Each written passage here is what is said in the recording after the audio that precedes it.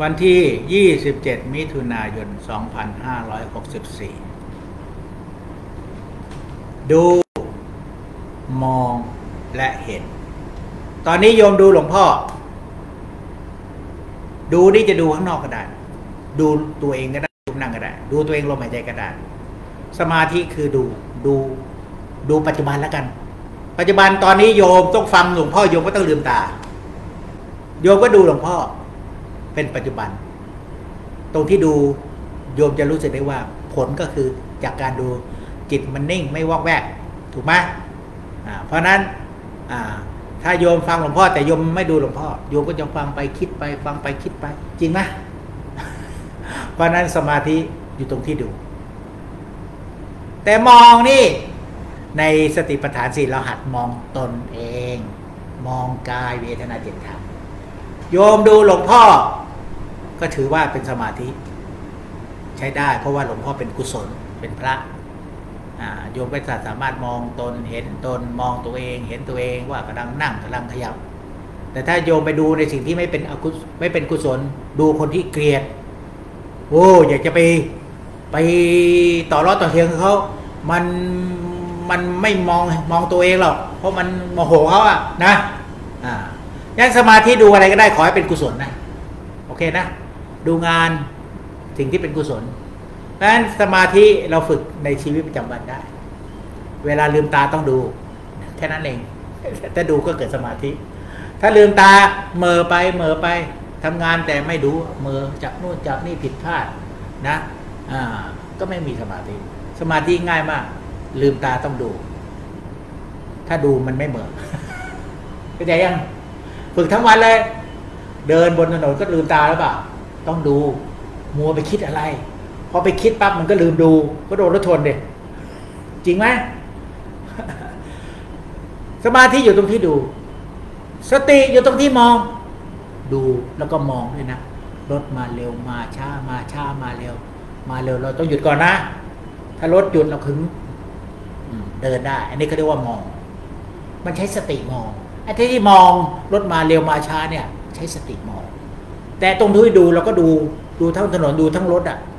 แต่ว่าจะที่เราจะเกิดวิจารณาญาณว่าควรเดินหรือไม่เดินมันอยู่ตรงที่สติบอก เออ มันจอดเราก็เดินได้ ถ้ามันมาเร็วๆหยุด หรือยังเป็นไฟแดงอยู่เราก็ต้องหยุดนะไฟเขียวก็ต้องให้นะเรารถไปเราก็ต้องหยุดนะตรงที่เรามองเนี่ยมันจะเกิดการมองมองมองสิ่งต่างๆ รอบตัวเองโอเคไหมอ่า สติ แต่ดูก็คือดูเป้าหมายว่า เราจะเดินไปเซเว่นอีเลเว่นอ่าใช่ไหมแต่ขนาดที่เดินไปเรามองได้ไหมมันต้องข้ามถนนน่ะต้องก้าวฟุตบาทด้วย มองได้ไหมแล้วมองใกล้ๆ เวลาจะก้าวฟุตบาทนี่โยมไม่ต้องก้มหน้าดูหรอกโยมก็มองทางเดินถ้าก้มหน้าดูก็โดนรถชนอีกโยมก็ดูดูทางเดินว่าจะไปทางนี้ไปเซเว่นนะแต่ขณะเดียวกันมองมองมันไม่ต้องก้มหน้าเพราะมันใช้สติมองอ๋อดูละเนี่ยมันดูละตอนนี้มี มีมีมีความต่างระดับจริงไหมอ้าวโยมดูหลวงพ่อแต่มอง character ของตัวเองได้ไหมมองลักษณะท่าทางของตัวเอง การแต่งเนื้อแต่งตัวของตัวเองต้องใช้ตาดูไหมไม่ต้องโยมดูหลวงพ่อมองตัวเองได้ไหมว่ามันนี้แต่งลำลองมันนี้แต่งกำลังรู้สึกรู้สึกยังไงมองได้ไหมนี่แหละคือมองสติสติอยู่ที่มอง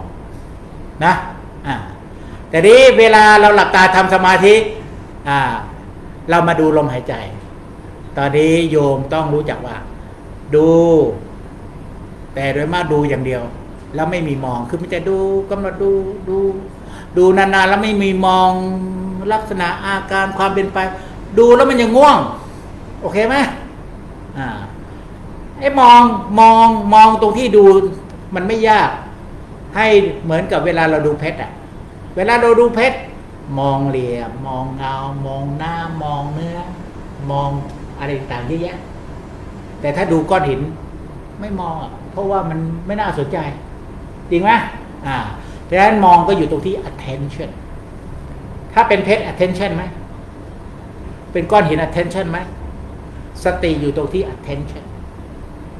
โอเคไหมเพราะนั้นตอนนี้โยมตาดูหลวงพ่อเนี่ยนะ attention on your breathing in breathing out in breath out breath ได้ไหมมองได้ไหมนั่นแหละสติ attention และ in breath out breath ตรงไหนที่มันจะชัดโยม ในโพรงจมูก เพราะว่ามันมีการเสียดสี มันจะชัดกว่า นะอ้าว in breath out breath อ่ามอง ได้ไหม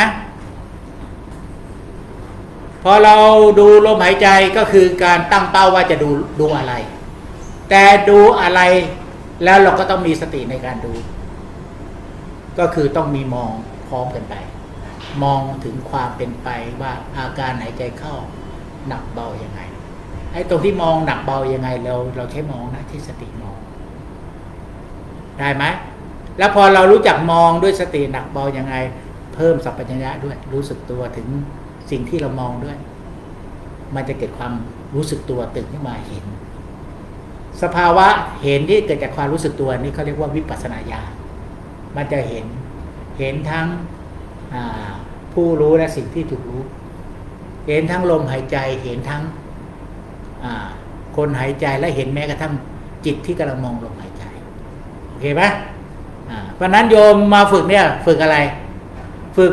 พัฒนาสมาธิด้วยการดู ในขณะดูต้องมองละเอียดละเอียด มองละเอียดละเอียด แล้วก็ต้องมองมองด้วยความปล่อยวาง และมองด้วยความรู้สึกตัวมันจึงจะเกิดญาณเห็นนะเพราะนั้นเรามาฝึกสามตัว ไม่ใช่มานั่งบอกว่าฝึกลมหายใจเข้าลมหายใจออกอย่างเดียวไม่ใช่ แต่เราฝึก mindfulness of breathing เราไม่ใช่ฝึก breathing meditation โอเคไหมเพราะนั้นโยมต้องหาสติให้เจอก่อน อ่าตอนนี้หาสติให้เจอ ใช้รู้สึกตัวช่วย ถ้าเราลืมตาเราดูหลวงพ่อดูเพื่อน ถ้าเรารู้สึกถึงร่างกายนั่งท่านี้ มันเหมือนเรามองตัวเองไหมถ้าว่านั่งท่านี้เรารู้สึกตัวได้ไหมว่า เรานั่งสบายผ่อนคลายรู้สึกได้ไหมการมองมันจะเกิดจากการที่เรารู้สึกตัวถึงสิ่งนั้นชัดนะเพราะนั้นในชีวิตประจำวันไหนลองหัดอย่างนี้สิดูหลวงพ่อฟังธรรมะหลวงพ่อ หรือดูงานดูการ ดูหลวงพ่อยังไม่เท่าไหร่ดูงานดูการบางทีมันเล่งมันรีบแต่ถ้าเรารู้สึก รู้สึกใกล้ ๆ ที่ลมหายใจหนึ่งนอกจากมันได้ผ่อนคลายแล้วสองมันจะมีสติใจเย็นๆจริงไหมจะมีสตินะเพราะนั้นวิธีฝึก เราฝึกแต่ในท่านั่งหลับตา เราลือฝึกในชีวิตประจำวัน สติโยมนะ่ะชอบไหลไปกับการงานบ่อย โยมต้องเอามาผูกกับลมหายใจบ่อยๆในการรู้สึกถึงเข้าไปบ่อย เวลามันทำอะไรมันไหลไปบ่อยไหลไหลไปกับการงานบ้างไหลไปกับความคิดกังวลบ้างเดี๋ยวต้องเอามาผูกกับลมหายใจ วิธีผูกเราก็ผูกด้วยความรู้สึก รู้สึกถึงลมหายใจบ่อยๆดิไหนลองนั่งสบายๆก่อน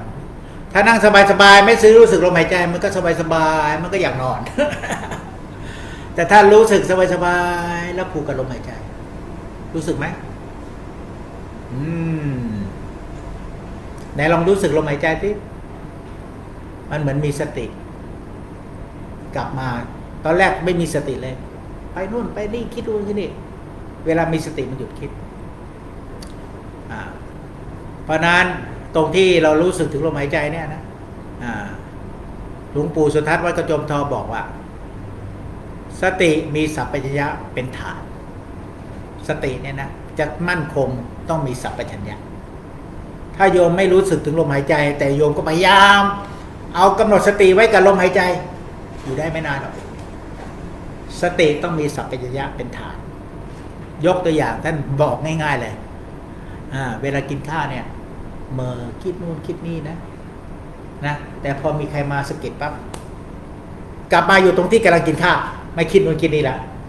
ก็โดนสะกิด เฮ้ย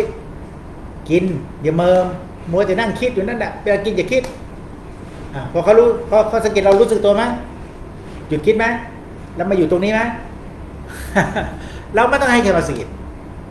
เรารู้สึกบ่อยๆที่ลมหายใจ เพราะมันจะทำให้มันเหมือนกับว่าผ่อนคลาย แล้วรู้สึกลมหายใจบ่อยๆลมหายใจมันจะมีคุณภาพ ไม่ใช่เรามีแต่หายใจหยาบทั้งวันอะ หายใจหยาบหยาบหยาบหยาบหยาบหยาบ สุขภาพก็ไม่ดี โอเคไหมเพราะนั้นเบื้องต้นเรารู้จักความรู้สึกตัว อยู่กับลมหายใจ ถึงแม้จะลืมตาดูหลวงพ่อ แต่ถ้าโยมมีรู้สึกตัวอยู่กับลมหายใจ โยมก็จะมีสติมองลมหายใจ ตอนนี้เราจะไม่ดูหลวงพ่อละเราก็จะดูลมหายใจเข้ากับลมหายใจออก เมื่อก่อนนี้บอกดูลมหายใจโยมก็เลยนั่งตามลมเข้าไปข้างใน ป้าก็ว่าโยมก็เห็นลมหายใจ แต่โยมไม่รู้ว่ามันเข้าหรือออก หรือรู้ว่าเข้าออกสักพักหนึ่งเดี๋ยวก็ไม่ค่อยรู้ล้วเพราะมันเข้าไปข้างในแล้วมันละเอียด โอเคนะ เพราะนั้นตอนแรกนี่ดูลมเข้าก็ดูลมออก ตรงไหนชัด ในโพรงจมูกมันชัด เพราะเราจะรู้สึกได้ว่ารูขุมขนเรา มันมีการเสียดสีหนักเบาๆเบาๆรู้สึกดีๆเพราะนั้นเราลองอะลองลองดู ดูข้างในไม่เป็นเราลองดูตรงที่ในปากในช่องปากลงซิเคี้ยวข้าวที่พอมีเคี้ยวปั๊บมีการเคลื่อนไหวปั๊บเราจะเห็นทั้งการกระทบ แล้วก็ความชุ่มชื้นในปากโยมเห็นความชุ่มชื้นในปากไหมและโยมเห็นอุณหภูมิในปากไหมอะลืมตาลืมตา ถ้าหลับตาโยมไม่เห็นอุณหภูมิในปากนะนะอ่าเพราะว่าโยมอ่าลืมตาปั๊บสติโยมมันไปอยู่ตรงที่ข้างหน้า คอยนั่งเก่งอยู่นั่นน่ะนะลองลืมตาที่เห็นในปากแบบแบบอัตโนมัติเนี่ยเห็นอะไรได้บ้าง การกระทบ การเคี้ยว แล้วถ้ามีมองด้วย มองมันจะเห็นค่อยๆสัมผัส ค่อยๆเคี้ยวแล้วถ้ามีสติมองมากขึ้น มันจะเห็นความชุ่มชื้นในปาก เห็นเทมเพลเชอร์ในปาก จริงไหมอ่าเพราะนั้นคันนี้เขาเรียกว่าเห็นเห็นน้ำหนักหนักเบาหยาบเอียง ลมหายใจมันก็มีอุณหภูมินะถ้าโยมมีสติดีบางทีมันก็อุ่นๆนะใช่ไหมเออนะเพราะนั้นวันนี้อ่าอย่าเพิ่งรีบร้อนหลับตาดู จนเมื่อไหร่เราลืมตา ถึงแม้เราจะดูหลวงพ่อ แต่เราฝึกสติปัฏฐานสี่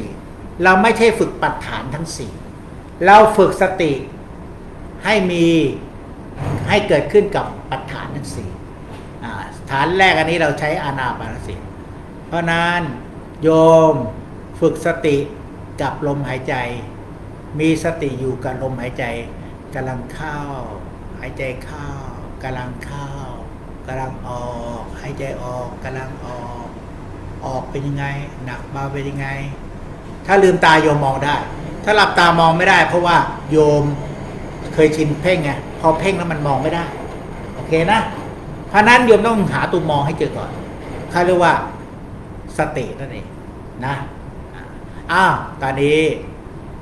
หลวงพ่อก็เลยบอกโยม เอางี้ ทั้งรู้สึกตัวด้วย ทั้งลองว่านั่งอยู่ฟังหลวงพ่ออยู่ แต่ตั้งสติ อยู่การลมหายใจเข้า ตั้งสติ อยู่การลมหายใจออกเพราะฉะนั้น คำว่าตั้งสติ มันจะช่วยทำให้เวลาโยม เอาสติไปไปมองลมหายใจเนี่ยมันไม่เป็นแนบเกินไปโยมตั้งสติหน่อย สติอย่าผงกผงกลงนะอย่าก้มๆเงยเงยไม่เอา สติอ่าตั้งสติอ่ามองกาย มองกายมองรูปนั่ง มองความไหว sensation ของกายได้ไหมอันนั้นมองมาจากไหนอะ ก็สติสติก็คืออยู่ตรงที่มองไม่ต้องไปหาว่ามันอยู่ตรงไหน เมื่อมีมองก็มีสติ โดยเฉพาะมองตัวเองตอนนี้มองตัวเองมองรูปนั่ง มองกายร้อนมองกายเย็น มองการไหวการขยับแล้ว มองลมหายใจ หายใจเข้ากำลังเข้าหายใจออกกำลังออก มองได้ทุกคนอะแต่พอหลับตาปั๊บ โยมมักจะเคยชินแบบวิธีเดิม แล้วมองโยมโดนกดเอาไว้ เพราะนั้นก่อนหลับตาต้องให้มีสติก่อนโอเคไหมมีสติมองลมหายใจจากสติก่อน ได้ไหมเพราะว่าถ้าหลับตาเนี่ยโยมปั๊บแยกไม่ออก อันไหนดูอันไหนมอง แล้วใช้สติไหมมันแยกไม่ออกอ่าเพราะโยมต้องแยกสติออกจากสายตาให้ได้ก่อน สายตาอยู่กับพุทธรูปดูไกล แต่มองใกล้ๆที่เหงื่อได้ไหมมองใกล้ๆที่อุณหภูมิร่างกายได้ไหมสติมันมองนามมาทำได้นะ แต่ตามันมองนามมาทำไม่ได้ นะสติมองได้ทั้งรูปทั้งนามอ้าวตาดีแยกได้ไหมสติมองใกล้ๆมาที่เนื้อที่ตัวได้ไหมที่เหงื่อได้ไหมที่การเคลื่อนไหวได้ไหมที่การพองการยุบได้ไหมที่ความรู้สึกบนใบหน้าได้ไหมที่ ความรู้สึกในช่องปากได้ไหม แล้วความรู้สึกของลมที่เคลื่อนในโพรงจมูกได้ไหม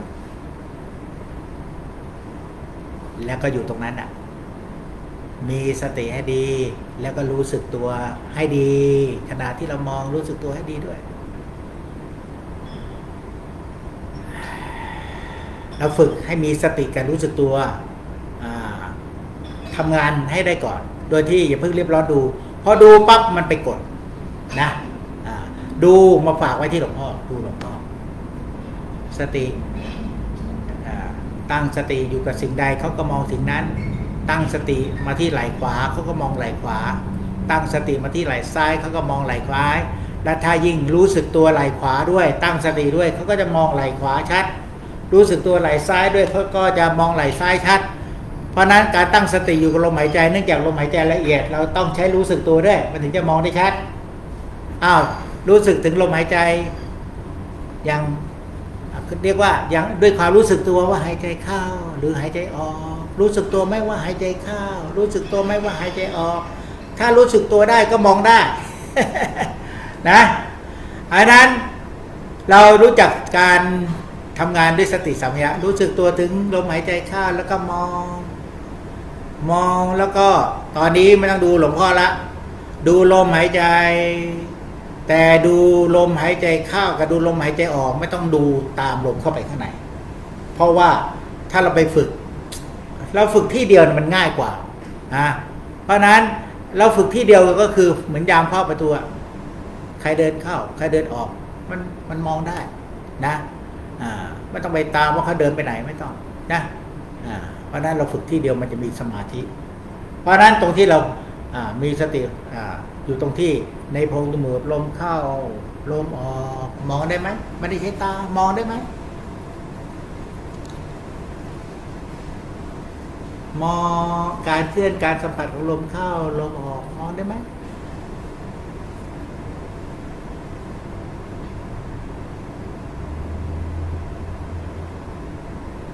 แต่นี้ถ้าเราไม่ดูหลวงพ่อ เราดูลมหายใจแต่ให้มันมีมอง ขณะดูต้องมีมองด้วย เพราะถ้าขณะดูดวงไม่มีมองนะโยมจะดูจนหลับเลยเข้าใจไหมโยมจะดูจนหลับเลย เพราะฉะนั้นถ้าขณะดู เวลาดูต้องมอง เวลามีมองมันจะมีเห็น แต่ถ้าดูแต่ไม่มีมอง หรือมองไม่ตื่น ดูมันก็ง่วงนอน โอเคนะเอาละพอนี้เข้าใจละ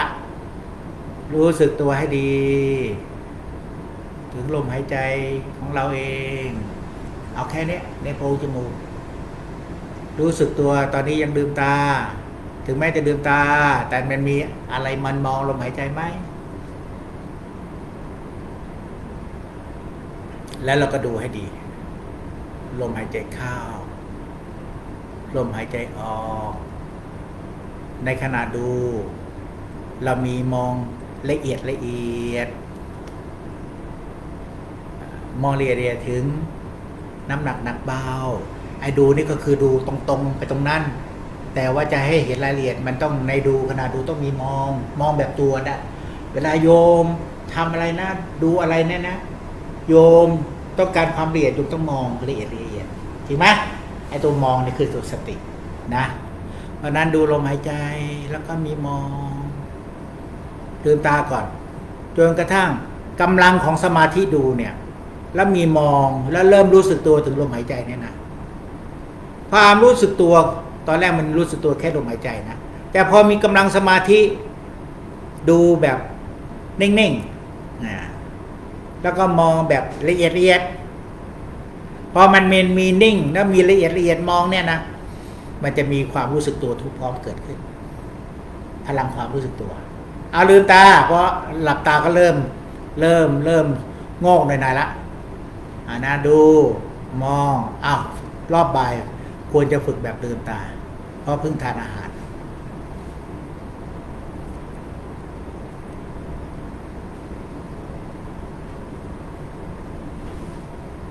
ดู มอง เห็น จะเห็นอะไรก็รู้สึกถึงเขาสิโยมลองโดนยุงกัดดิมันมองไปที่ยุงกัดไหม โยมก็รู้สึกตรงจมูก ในโพรงจมูก มันก็จะมองในโพรงจมูก โยมรู้สึกริมริมริมปีปาก ด้านหน้าจมูก มันก็จะมองไปตรงหน้าจมูก อ่า เพราะนั้นวันนี้ให้มองข้างในเพราะอะไร เพราะมันจะมองการหายใจเข้าลมหายใจเข้าลมหายใจออกได้ชัด แล้วมันชัดเวลาจังหวะลมหายใจเข้าเนี่ยนะในเวลาโยมมองลมหายใจเข้าดูหลวงพ่อนะพอมองลมหายใจเข้าปั๊บ เนื่องจากมองอะไรใกล้ๆอะมันดึงจิตเราที่ชอบไหลไปข้างหน้ากับเพื่อนไปข้างหน้าพอมองอะไรอยู่ข้างในแล้วมันมองเข้านะจังหวะหายใจเข้ามันเหมือนจิตมันจะค่อยๆรวมมากขึ้นนะแต่ถ้าโยมเอาง่ายๆโฟกัสตรงนี้เลยจิตตรงนี้ไม่รวมหรอกเพราะมันเป็นนิ่งๆอยู่ตรงนี้แหละนะแต่ถ้าโยมมองอะไรที่มันละเอียดละเอียดข้างใน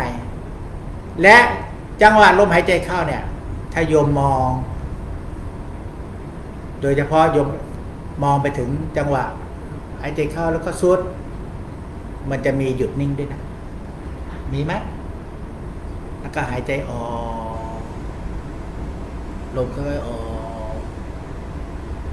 แล้วก็มองลมเข้า จังหวะลมเข้าเนี่ยลมหายใจจะรวมกับจิตเพราะจังหวะลมเข้าเนี่ยสำคัญมาก ลมหายใจจะรวมกับจิต แล้วพอลมหายใจรวมกับจิต โยมก็มองละเอียดละเอียด คือเราโดมดูละดูลมหายใจเข้า ดูลมหายใจออก แต่ดูลมหายใจเข้า และกำลังหายใจเข้า และกำลังหายใจเข้า มันจะรวมข้างในพอรวมข้างในปั๊บอ่า มันก็มีระยะมีแกลบระหว่างสิ่งที่ถูกรู้กับลมหายใจกับคนรู้นะตอนนี้โยมก็เริ่มมีมีสติมากขึ้นนะ พอมันมีสติมากขึ้นก็คือ ดูของโยมจะเริ่มเป็นเอกคตานะแล้วโยมก็หัดมองละเอียดละเอียด ในขณะที่จิตเป็นเอกคตาถ้าโยมรู้จักฝึกมองละเอียดละเอียด มันจะเกิดสติและลึกรู้อยู่ข้างในสมาธิและลึกรู้อยู่ในความแน่วแน่ ว่าลมหายใจลักษณะเป็นยังไง มันสามารถรู้เรียนรู้ รู้จากลักษณะอาการลมหายใจ และรวมก็เพิ่มความรู้สึกตัว มันก็จะมีเห็น ปรากฏว่า มันมีทั้งเห็น ในเห็นมีมอง ในมองมีดู แล้วปรากฏว่าโยมดูที่เดียวตรงที่ลมสัมผัส มองโยมจะหาสามารถ มองอาการเคลื่อนของลม ซึ่งบางทีมันก็ม้วนตัวไปม้วนตัวมา บางทีมันก็เป็นเป็นลำบางทีก็เป็นละอองโอเคนะอ่าฉะนั้นโยมมีดูโยมมีมอง ไอ้มองตรงที่มองเห็นอย่างเงี้ยเขาเรียกว่าสติมันมันตื่น มันมองสติตื่นในสมาธิคือเป็นผู้มีสติตื่นในสมาธิ สามารถเห็นความเป็นไปของลมหายใจที่ละเอียดได้นะแล้วตรงที่วันหลังชำนาญเนี่ยมันก็ดู ตรงนี้ยชัดเนี่ยสัมผัสสัมผัสสัมผัสแต่ตรงมองมันมันจะเห็นเหมือนกับลมหายใจเป็นเป็นลำที่มันเคลื่อนน้อยๆหรือละเอียดละเอียดหรือควงไปควงมา มองมันจะเห็นลีลาของลมหายใจ โอเคไหมซึ่งจะเกิดสิ่งเขาเรียกว่าปฏิภาคนิมิตปฏิภาคนิมิตมีอธิบายในพระไตรปิฎกหลายอย่างสิบกว่าอย่าง เป็นหมอกบ้าง เป็นสโมเป็นควันบ้าง เป็นละอองบ้าง เป็นเกล็ดน้ำแข็งบ้าง เป็นความรู้สึกที่มันเย็นๆบ้างอ่าแล้วก็เป็นความรู้สึกที่มันเคลื่อนตัวม้วนตัว หรือบางทีเป็นเส้นเส้นสายบ้าง เพราะมันเกิดจากการมองละเอียดละเอียด ถ้ามองละเอียดละเอียดก็คือขณะที่ดูดูมันแน่วแน่ มันก็เลยมองละเอียดละเอียดจนกระทั่งสามารถมองไปถึงอนูของลมหายใจได้ มันจะเหมือนกับสูเวลาโยมดูอะไรต่าง ๆ เนี่ยนะ นิ่งๆเนี่ยโยมเหมือนกับสิ่งนั้นมันสูแล้วโยมก็เห็นอนูในสิ่งนั้น โอเคนะเขาเรียกว่าปฏิภาณนิมิตนะอ่าเพราะนั้นขณะดูดูที่เดียวในโพรงจมูกแต่มองละเอียดละเอียดแล้วก็มองด้วยการพิจารณา เพราะนั้นวันนี้จะใช้คำว่า รู้สึกตัวให้ดี แล้วก็มองละเอียดละเอียดพิจารณาให้ดีลองลืมตาที่ รู้สึกตัวให้ดีถึงความเปลี่ยนแปลงเปลี่ยนไปลมหายใจ หนักหรือเบา แล้วก็มองให้ดี มองให้ทันอมองให้ชัดและขณะที่มองมันเป็นอิสระจากการดู แล้วดูนิ่งๆ แต่มองละเอียดละเอียดมันจะเห็นการเคลื่อนของลมยิ่งนิ่ง ยิ่งเห็นซูมเข้ามา โอเคไหมอ่าเพราะนั้น โยมต้องฝึกมีสมาธิเป็นแกนกลางนิ่งๆ แต่สติต้องไม่นิ่ง ไม่ใช่ สติต้องตั้งมั่น คือเราไม่เรียกว่านิ่งหรอกนิ่งก็คือสมาธินะ แต่สติต้องต้องมั่นคง ต้องตื่นรู้แล้วก็มั่นคงนะสติต้องมีสัมปญะคือรู้สึกตัวนะแต่ใหม่ๆสติมันก็เหมือนกันนิ่งๆไปก่อน แล้วเดี๋ยวโยมก็โดนอ่าโยมก็เพิ่มสัมปญะขึ้นมา หรือไม่อาจารย์เขาก็ค่อยๆพูด เห็นนั่งนิ่งๆเงี้ยแล้วก็พูดให้รู้สึกตัวขึ้นมาพิจารณาให้ดีลมหายใจเป็นไงเพราะสติโยมชอบไปอยู่กับนิ่งๆกับสมาธิอยู่เรื่อยเลยชอบลืมพิจารณา โอเคไหมใหม่ๆจะเป็นอย่างนี้ก่อนนิ่งๆนะแต่มันนิ่งๆก็ไม่เป็นไรละถ้าโยมรู้วิธีนะ วันนี้บอกให้หมดเลย ถ้าสติโยมนิ่งๆ เป็นสมาธิ โยมหัดมองด้วยสติ มองในนิ่ง ให้ลองหลับตามองในนิ่งได้ไหมลมหายใจ ลมหายใจเข้ากับลมหายใจออกมองในนิ่งได้ไหมหรือมองในขณะนิ่งได้ไหมหรือมองด้วยจิตนิ่งๆได้ไหมเพราะนั้นโยมก็จะได้รู้ว่า จิตนิ่งๆก็คือสมาธิ มองด้วยจิตนิ่งๆก็คือสติ ถ้ามองได้ ตอนแรกก็มองลักษณะหนักเบาอาการ แล้วมองไปจนถึงความรู้สึกของลมหายใจ สัมปชัญญะก็ตื่นขึ้นเลย โอเคนะ อ่า พอสัมปชัญญะตื่นปั๊บมันเห็นลมหายใจขยายตัวเบาบางทีตัวเบาทั้งตัวเลย แล้วสุดท้ายบางคนก็บอกว่า มันเบาแล้วทำไงต่ออ้าวก็โยมไปทิ้งลมทำไมอะมันจะเบาจะเป็นอะไรโยมก็ยังต้องดูดูที่ลมหายใจในโพรงจมูกตรงนั้นอะ แล้วก็ต้องมองนิ่งๆมอง ต้องนั่งยังมอง ไม่ใช่มองนิ่งๆละอ่า เพราะว่ามันรู้สึกตัวเบาละ ต้องใช้จำเปลี่ยนเป็นนิ่งๆมองข้างในนิ่งๆ แต่ข้างในขยันทำงาน แต่ข้างนอกแผนทำงานมอง นิ่งๆมอง นิ่งๆมอง นิ่งๆมอง แล้วความรู้สึกตัวมันก็จะละเอียดว่างผ่องใสบริสุทธิ์โยมนิ่งๆมองปั๊บมันจะพิวริฟายโอเคไหมนิ่งๆมอง นิ่งๆปองมันจะพิวริฟายอ้าวเพราะนั้นลืมตา รู้สึกถึงลมหายใจ ตั้งสติ ดูลมหายใจในโพรงจมูก ตอนนี้ต่างคนรู้วิธีแล้วก็ฝึกทำตั้งสติกำหนดรู้ เรียกกำหนดรู้ก็ได้ หรือดูก็ได้ แต่ขณะกำหนดรู้ต้องมอง ขณะมองต้องเห็น เห็นจากความรู้สึกตัว เพราะนั้นก็ต้องเพิ่มความรู้สึกตัวของลมหายใจ ทั้งดู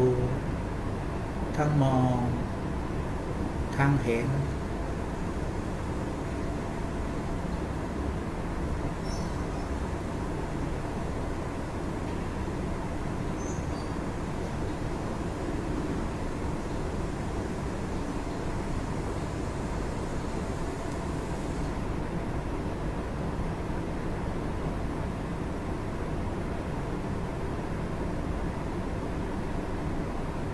แล้วก็ดู ที่เดียวในโพรงจมูก ลมหายใจเข้าและกำลังเข้า ลมหายใจออกและกำลังออก ดูอย่างเดียว แต่มองละเอียดละเอียด มองละเอียดละเอียดจะเห็นชัดต้องรู้สึกตัวถึงสิ่งที่มองด้วย ตอนนี้เรากำลังตานะมีทั้งดู แล้วก็มันมีมอง ร่วมด้วย แล้วก็มีเห็นตื่นขึ้นมา เหมือนเป็นอะไรเมนเลยเห็นตื่นขึ้นมา ในเห็นมีมอง พอเวลามองมันจะเห็นอาการเคลื่อนหลบลมชัด การเคลื่อนมองได้ต่อเนื่องเพราะมันมีดูที่เดียว แน่วแน่วมันก็จะมองชัด เห็นชัด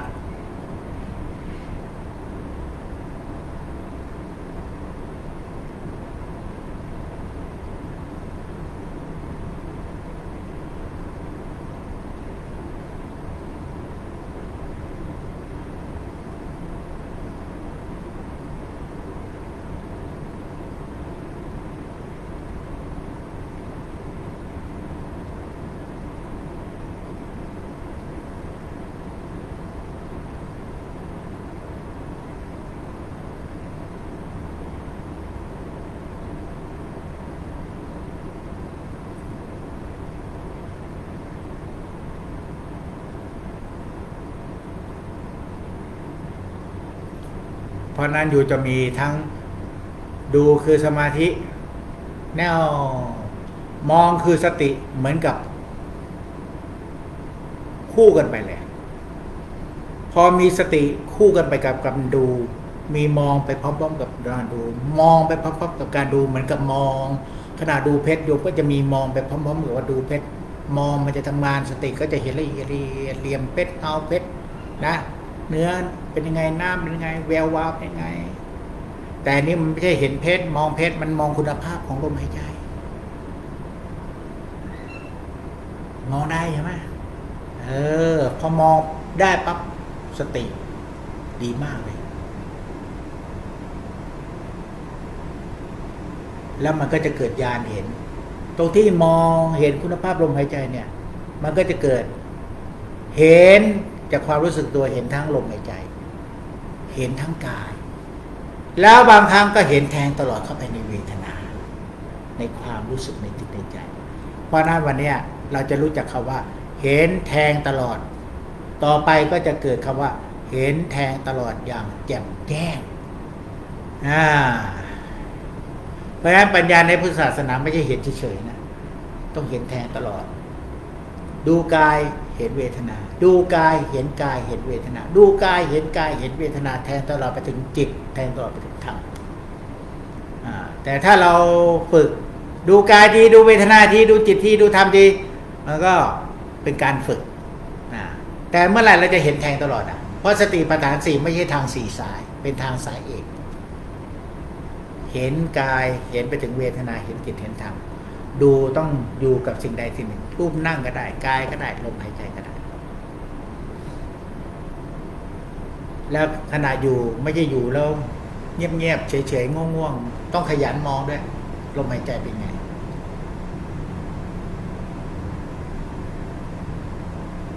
พอขยันมองปั๊บมันก็จะมีญาณเห็น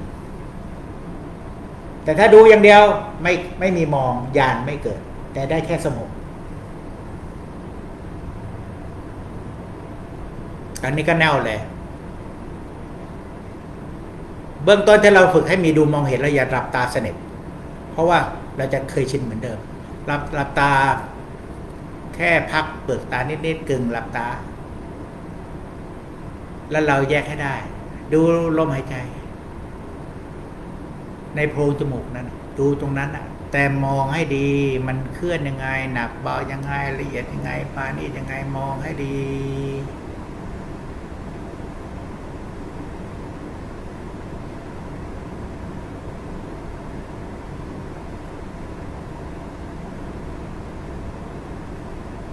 อมีมองละเอียดละเอียดสติละเอียด มันจะสงบและมีสัพพัญญะ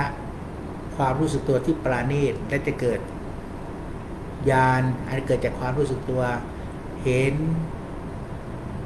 สิ่งใดเกิดขึ้นสิ่งนั้นตั้งอยู่สิ่งนั้นเปลี่ยนแปลงไปธรรมดาเขาเรียกว่าเห็นสามัญลักษณะ จะหายใจเข้าแล้วไม่ออกได้ไหมไม่ได้หายใจเข้าก็จะออกก็จะเห็นความเป็นอย่างนั้น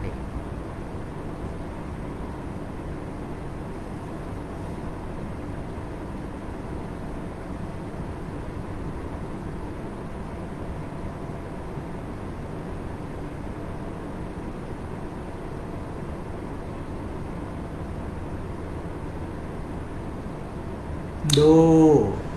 ใน โพรงจมูก ลมเข้ากำลังเข้า ลมออกกำลังออกไม่ต้องตามลมไป ดูเหมือนยามเข้าประตู ดูที่เดียว แต่ขอเป็นที่เดียวที่ในโพรงจมูกด้านในแล้วกัน เพราะมันต้องอาศัยสติที่ละเอียด ตื่นขึ้นมา มันจะมีสติที่ละเอียดตื่นขึ้นมา ทำให้สามารถมอง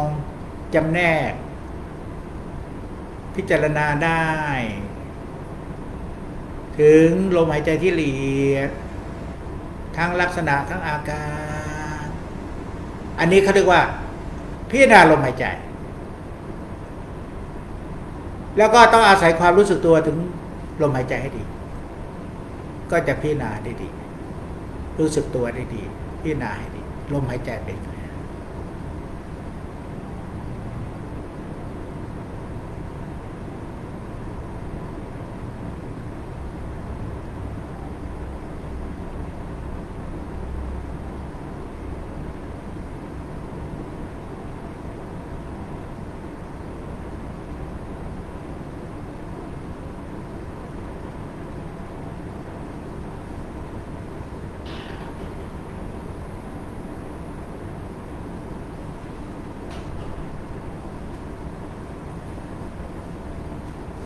ดูลมหายใจที่เดียวตรงที่สัมผัสขณะที่ลมหายใจเข้ากับกำลังเข้า แล้วก็มองละเอียดละเอียด นิ่งๆมอง แล้วก็รู้สึกตัวให้ดีถึงลมหายใจในขณะนั้นแล้วดูตรงที่ลมกำลังออก ตรงที่ดูลมหายใจเข้ากับลมหายใจออกเเราจะดูได้ชัดถ้าดูในโพรงจมูกเพราะนั้นตอนนี้เราจะมีสมถะตรงที่ดูลมหายใจ แต่ละขณะทั้งเข้าทั้งออก แล้วขณะเดียวกัน พอมีสมถะมันจะรู้สึกนิ่งๆ ตอนนี้มันจะนิ่งนิ่งนิ่งมอง นิ่งนิ่งมอง นิ่งนิ่งแล้วมันจะมองชัดอยู่จิตนิ่งแล้วมองชัด แต่จะทำให้ มองตื่นขึ้นมาก่อนนะด้วยกันเราต้องรู้สึกถึงสิ่งที่เรามองด้วย รู้สึกให้ดีแค่ความรู้สึก รู้สึกได้ไหมลมที่กำลังเข้าเป็นไงกำลังออกไงรู้สึกให้ดีฝึกรู้สึกกับลมหายใจแล้วก็นิ่งๆมองแล้วก็หลับตา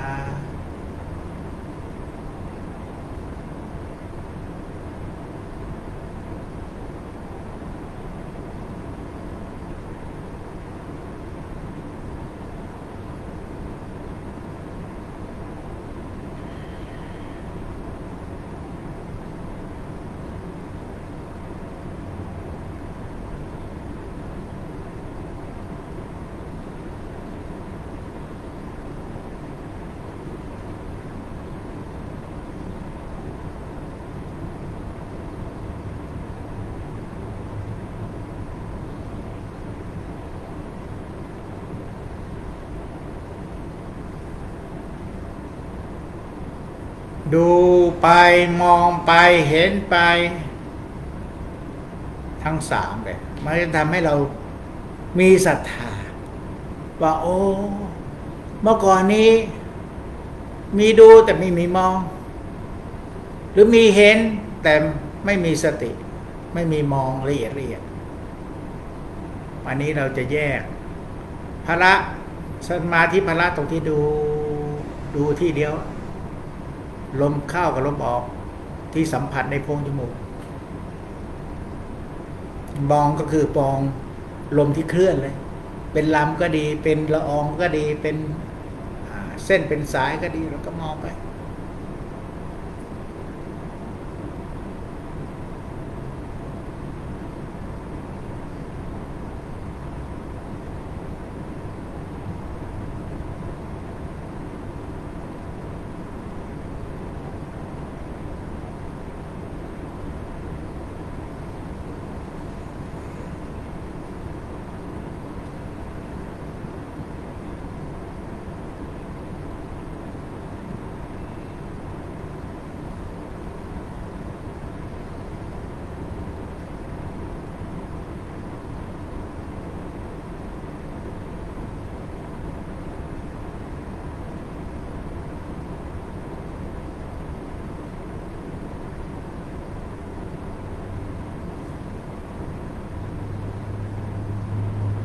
แลืมตายครั้งหนึ่ง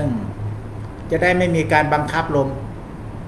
เรามีหน้าที่ดูเราใช่ไม่ใช่มีหน้าที่คอยบังคับลมนะลมมันหายใจเข้าอยู่แล้ว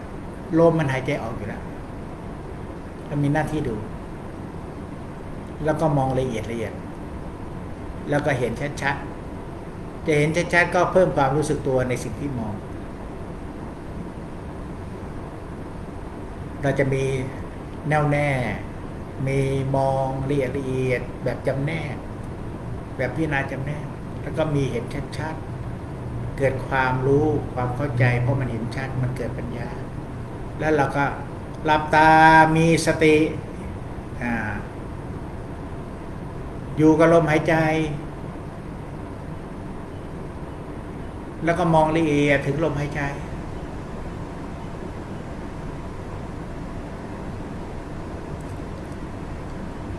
แล้วก็ทั้งดูทั้งมองลมหายใจ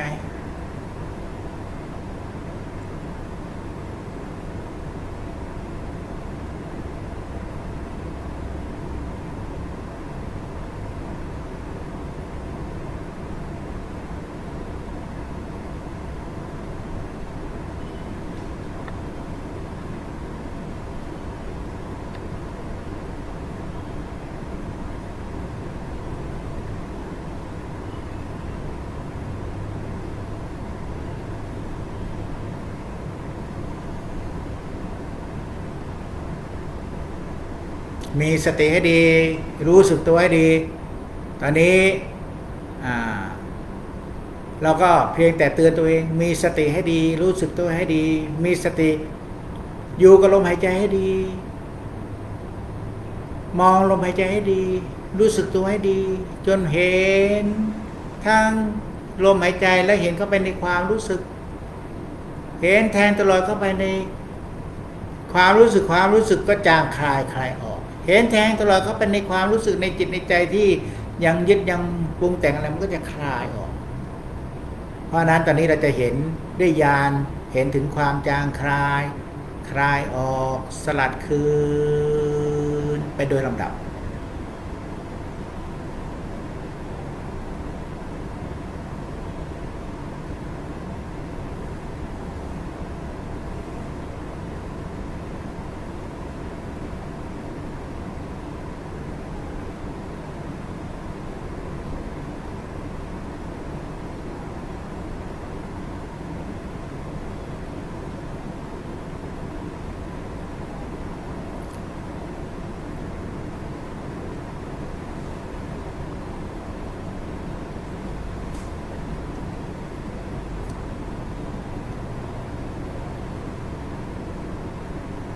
แล้วก็ลองลืมตาอีกทีนึงจังเห็นว่า ที่ลืมตาเราจะเห็นได้ไหมมัน ตื่นขึ้นมานิดนึงแสดงว่าตะกี้สติเราอาจจะเคยชินนั่งแล้วก็จมจมเพราะนั้นตอนนี้ลองลืมตาขึ้นมือขึ้นมาแล้วก็ ให้เพิ่มความรู้สึกตัวตรงที่ใบหน้าตัวเองสิจนเหมือนเรามีแววแววใบหน้าแววตา หรือเพิ่มความรู้สึกตัว ขณะที่ลืมตาเนี่ยให้มันเหมือนมีลืมตาแบบตื่นตื่นสดชื่นแล้วมันเหมือนมีแววตาเห็นตัวเอง มีแววตาเห็นตัวเองไหมมันเหมือนมีแววตาเห็นตัวเองนะแววตาเห็นตัวเอง เกิดง่ายมากเลย จังหวะถ้าอาตมาบอกถ่ายรูปนะเซลฟี่อ้าวถ่ายรูป พอนับหนึ่งเนี่ยเขาเรียกว่าดู พอนับสองโยมก็มอง แต่ขณะโยมมองพอบอกนับสองโยมยิ้มไหมความการยิ้มมันทำให้เกิดความรู้สึกตัวบนใบหน้า มันจะดึงจากขูวิญญาณให้ตึงโอเคนะ แล้วมันเหมือนเห็นหน้าตัวเองเพราะเรายิ้มแล้วเกิดวิญญาณทางทางกายสดชื่นบนใบหน้า วิญญาณทางตา เพราะนั้นตอนนี้โยมต้องต้องฝึกให้มีสัมผัสรู้สึก เบิกบานเบิกบานแล้วเห็นไหมมันมีมีความรู้สึกแบบ consciousness บางๆเหมือนมีแววตาเห็นหน้าตัวเองไหมเพราะนั้นขณะที่เราหลับตาไอเห็นเนี่ยก็คือถ้ายังยังไม่ทำนานก็อาศัยให้มีแววตาเห็นหน้าตัวเองก่อน ดูลมหายใจมองลมหายใจแต่เห็นทั้งใบหน้าตัวเองเลย ถ้าโยมเห็นใบหน้าตัวเองได้โยมก็จะเห็นลมหายใจเข้าเห็นลมหายใจออก ได้เลยพอเห็นใบหน้าเราไม่ได้เห็นเป็นภาพเราเห็นเป็นความรู้สึก มันก็เห็นไปถึงความรู้สึกของลมหายใจได้เลยเพราะนั้น ดูมอง เห็นเห็นทั้งหมดเลย โอเคนะเห็นทั้งหมดเลยบางคนเห็นทั้งตัวนี้กำลังนั่ง หายใจเข้าหายใจออกอย่างน้อย เอาว่า เห็นแค่ใบหน้าก็ยังดี โอเคนะ ใบหน้าคือไม่ไม่ก้มลงไป ใบหน้ายังตั้งตรงดำรงสติเฉพาะหน้า แล้วลองหลับตามีเหตุใบหน้าไหมเห็นเป็นความรู้สึกอะแล้วก็ดูลมหายใจ ในโพรงจมูกแล้วก็มอง มองเรียเรียแล้วก็เห็น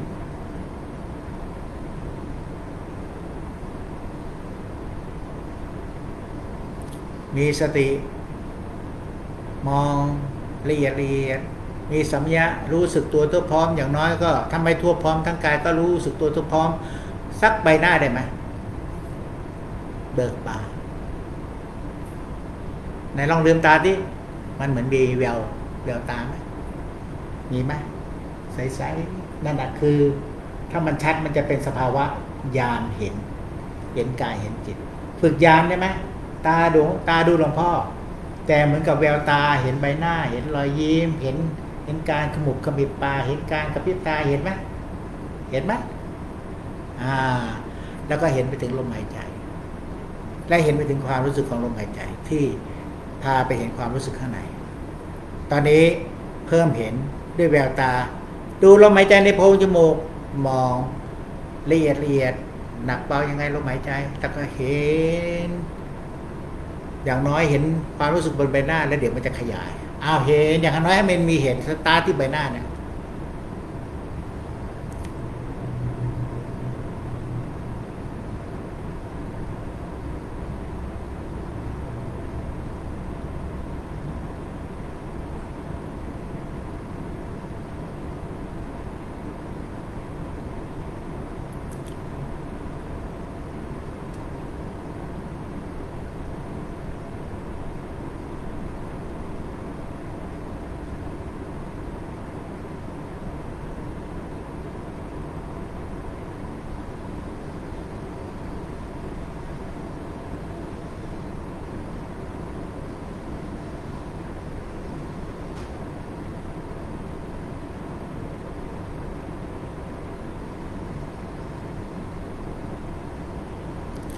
ถ้าเห็นความรู้สึกของกายหรือบนใบหน้าได้ ก็จะเห็นไปถึงเวทนาได้ แล้วก็สามารถเห็นไปถึงความปรุงแต่งในจิตในใจได้ เห็นไปถึงธรรมได้ พอเห็นไปถึงธรรมเราก็จะเห็นธรรมอนาศัยกันและเกิดขึ้น คือข้างในมันมีอะไรบางอย่างที่ปรุง แต่ตอนแรกยังบอกไม่ถูกว่ามันคือตัณหาอุปาทาน แต่เราเรียกรวมๆว่า ทำอันอาศัยกันและเกิดขึ้นก็คืออีทัพปัจจยตา เพราะสิ่งนี้มีสิ่งนี้จึงมี เพราะสิ่งนี้เกิดสิ่งนี้จึงเกิด จะเห็นได้ชัดเข้าไปข้างในตอนนี้โยมต้องเพิ่มสุญญตาละใส่ใจในความสงัดและวิเวกมันจะปล่อยวางข้างในดูมองลมหายใจ เข้าลมหายใจออก ห็นมองชัดๆเห็นชัดๆเห็นบนความบนใบหน้าเห็นในความรู้สึกจนกระทั่งมันขยายทั้งกาย แล้วจนกระทั่งมันรู้สึกละเอียดเข้าไปถึงเวทนาในจิตในธรรมเมื่อก่อนเราก็ไปดูเวทนาดูจิตดูธรรมแล้วเราก็ทิ้งลมหายใจแล้วก็ตกผวังวันนี้เราไม่ทิ้งเราก็ยังดูลมหายใจแต่เห็นเวทนา มองลมหายใจละเอียดละเอียด บางทีไม่ได้เห็นเวทนาเห็นไปถึงเวทนาละเอียดละเอียดเพราะนั้นวันนี้เราจะเริญอานาปานสติด้วยการดูมองเห็น จนมันแทงตลอดเลย เห็นลมหายใจละเอียดละเอียดก็เห็นไปถึงกาย เวทนาละเอียดละเอียดจิตที่ปรุงแต่งภายในธรรมข้างในตอนนี้เราเหมือนกับว่า มีดูมองเห็นเรียกว่าในดูขณะดูมันมีมองตื่นขึ้นมา ขณะมองมันมีเห็นขยายกว้างออกมา แล้วเราก็ขณะที่เห็นขยายกว้างออกมา เราก็ต้องดู ดูแนวแนวดูที่เดียว ในโพรงจมูก แล้วก็หลับตา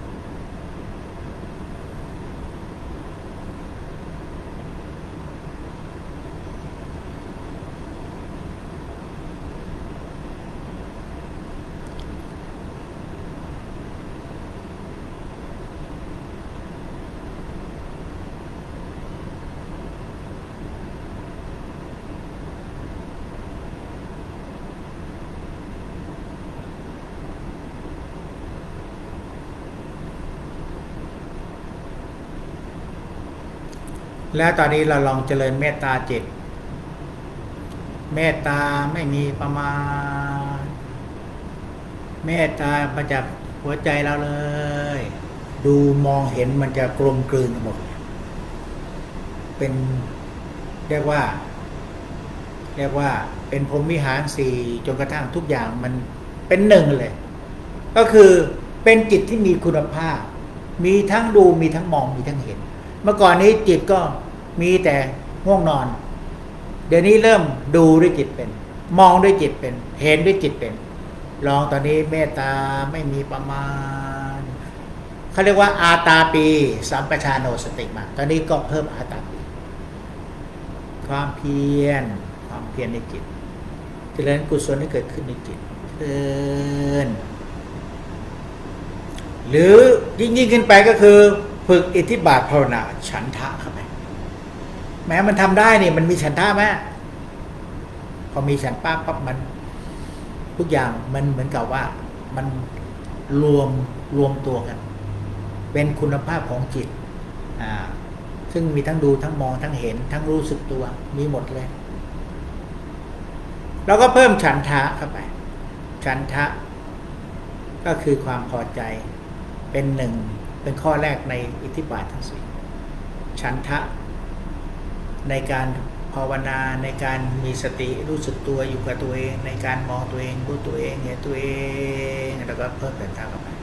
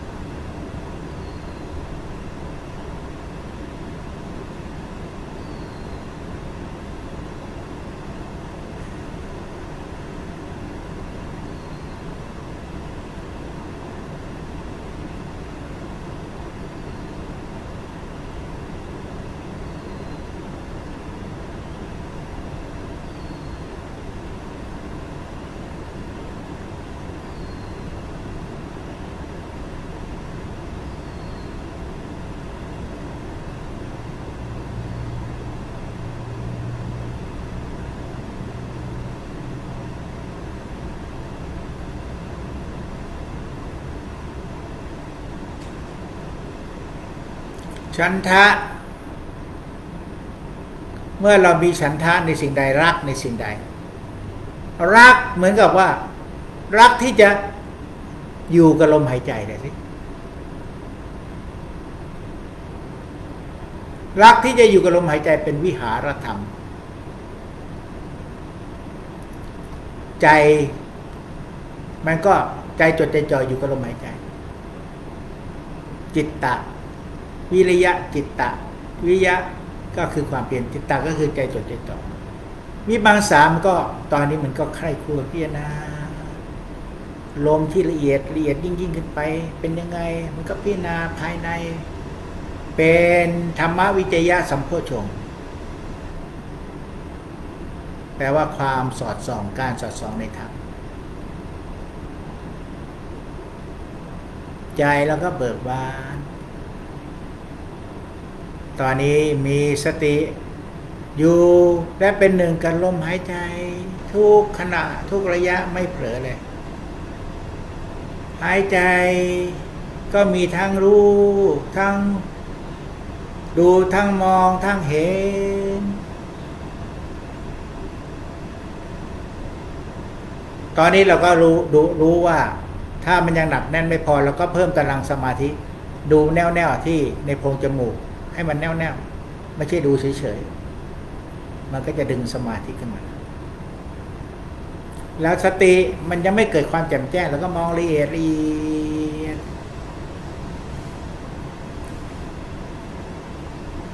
แล้วเราก็รู้สึกตัวถึงสิ่งที่เรามองคือลมหายใจนั้นรู้สึกให้ดี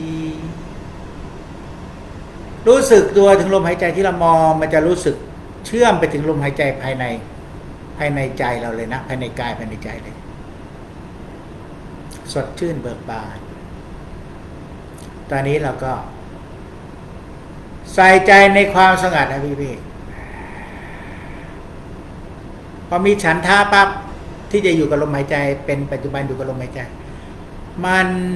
ก็สงบสงัดวิเวก แล้วเราก็ใส่ใจในความสงัดวิเวก มันก็จะเป็นสุญญตา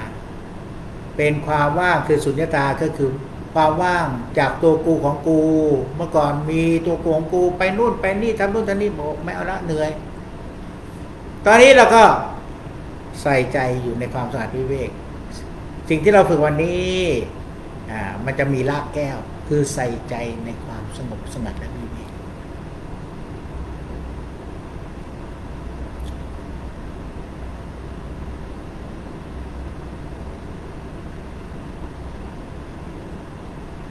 ป้ากว่า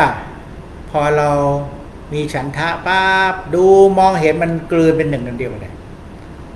ก็คือเป็นจิตที่บริสุทธิ์ผ่องใส เห็นชัด รู้ชัด มองชัด ดูชัด อ่า มันเหมือนว่า จิตไม่เคลื่อนอคนมองไม่เคลื่อน แต่ลมหายใจเคลื่อนเขาเรียกว่า รู้ไม่มีไม่มีอาการ แต่สิ่งที่ถูกรู้มีอาการ แล้วก็สติอยู่กับรู้รู้รู้ว่ากำลังทำอะไร รู้ว่ากำลังนั่ง รู้ว่ากำลังหายใจกำลังหายใจมีอาการ แต่รู้ว่ากำลังหายใจ รู้รู้ไม่มีอาการ ตอนนี้เราภาวนาจนมีสติอยู่กับรู้ปัจจุบัน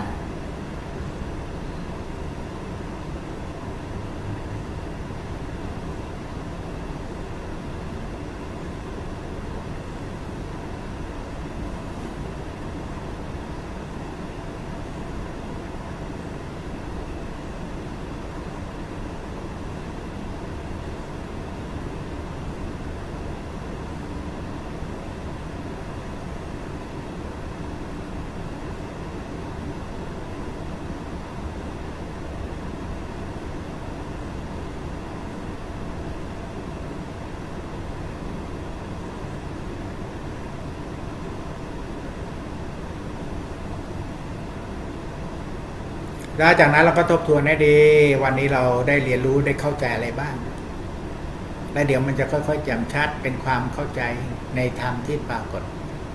มีสติให้ดี รู้สึกตัวให้ดี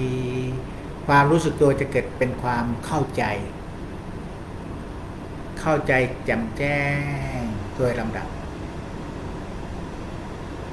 และเราจะเกิดศรัทธาเกิดวิริยะ เกิดสมาธิ ตั้งมั่นอยู่ตรงที่ดูสติอยู่ตรงที่มอง ปัญญายาณอยู่ตรงที่เห็น เป็นพละทั้งห้าที่ได้สมดุลได้ส่วน ก็จะมีสติอยู่ด้วยอุเบกขาแล้วแลอยู่ และก็ไม่ยึดมั่นถือมั่นในสิ่งใดๆทั้งสิ้น จากนั้นเราก็แผ่เมตตา ให้กับผู้มีพระคุณของข้าพเจ้าทุกภพทุกชาติ บิดามารดาครูบาอาจารย์ บุตรหลาน บริวารหรือแม้แต่ศัตรู แล้วก็แผ่เมตตาให้กับคนไทยทั้งชาติ ให้ประเทศชาติไทยเราผ่านพ้นวิกฤตโควิด -19 ในเร็ววันนี้ และก้าวข้ามวิกฤตต่างๆ ไปด้วยดีเพื่อความเจริญของประเทศชาติสืบไป และเราก็พนมมือสวดมนต์พร้อมกัน เตชะพุทธานุภาเวนะสัทธาสวถีพระวันตุเม ขอเดชะอานุภาพ แห่งพระพุทธเจ้า ขอความสวัสดี จงมีแก่ข้าพระเจ้า เตชะธรรมานุภาเวนะ สัทธาสดถีพระวันตุเม ขอเดชะอานุภาพ แห่งพระธรรม ขอความสวัสดี จงมีแก่ข้าพเจ้า เตชะสังคานุภาเวนะสัทธาสดถีพระวันตุเม ขอเดชะอานุภาพ พระสงฆ์ขอความสวัสดีจงมีแก่ข้าพเจ้า ขอให้ทุกท่านเจริญทั้งทางโลกทางธรรมเจริญด้วยอายุวันนะสุขภาละธนสารสมบัติ มีสุขภาพภารานามัยแข็งแรงสมบูรณ์ มีความสำเร็จในทุกสิ่งที่ทุกท่านมุ่งมั่นปรารถนาทุกๆการตามเข้าสู่พระนิพพานอย่างน้อย ปิดอบายให้ได้ในชาติปัจจุบันนี้ ทุกคนทุกท่านเธอ